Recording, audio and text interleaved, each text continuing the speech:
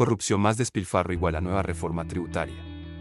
Por Álvaro Ramírez González. Con el mayor desparpajo el ministro de Hacienda Ricardo Bonilla afirmó que el gobierno tiene que hacer un presupuesto y si los recursos no alcanzan para su ejecución, es necesaria una nueva ley de financiación, léase, nueva reforma tributaria. El problema de la reforma tributaria que anuncian y le baja los impuestos a las empresas pero naturalmente compensa con un alza muy fuerte a las personas, es que no hay quien sea capaz de pagar esa nueva cosecha de impuestos. No habrá pues ni empresas ni personas que paguen esos nuevos impuestos.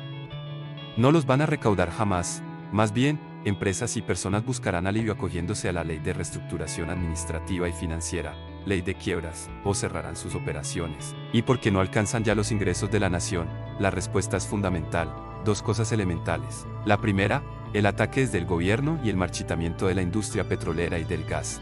Ha espantado ya muchas empresas petroleras y gas y naturalmente los elevados ingresos por esta economía han caído en un 40%. No olviden ustedes que el 40% de los ingresos de la nación antes de Petro salían de esa industria y hoy por las cerradas políticas gubernamentales, el petróleo, el gas y el carbón, andan en un proceso de marchitamiento. Y ni los aguacates como lo anunció tonta y equivocadamente Petro, ni menos el turismo hacia un país bañado en sangre, van a reemplazar esa tonelada de recursos que aportaba al presupuesto nacional, la minería. Con esa política destructiva de la minería y un país con 10 departamentos en guerra, no llegarán por ningún lado nuevos recursos a la nación, como quien dice, podidos por el lado de los ingresos y los gastos. Pues es este gobierno el de Gustavo Petro, es un derrochador de recursos como ningún otro gobierno lo había hecho antes. Y además es una fábrica de corrupción desbordada, sin límites y amparada en una fiscalía de bolsillo, que se aplica a procesar los enemigos de Petro y no a perseguir a los corruptos de este gobierno. Por todas partes derrochan y roban. Nos vamos a quedar sin pasaportes en 60 días y al ministro Leiva no le pasó nada. Solo una sanción disciplinaria y nada más.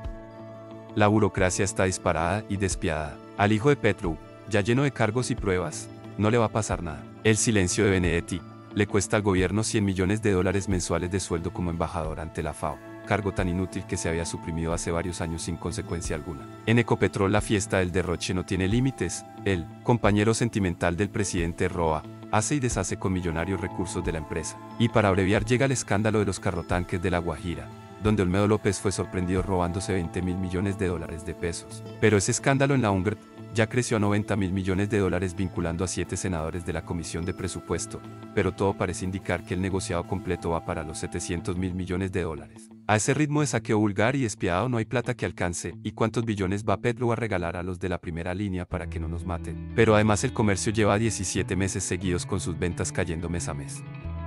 Ese es el progreso que pregona Petro. Es inviable pues que una feria de derroche, corrupción y marchitamiento de los ingresos, se resuelva con una nueva reforma tributaria, que nadie será capaz de pagar. Preferible irnos a la ley de quiebras o cerrar.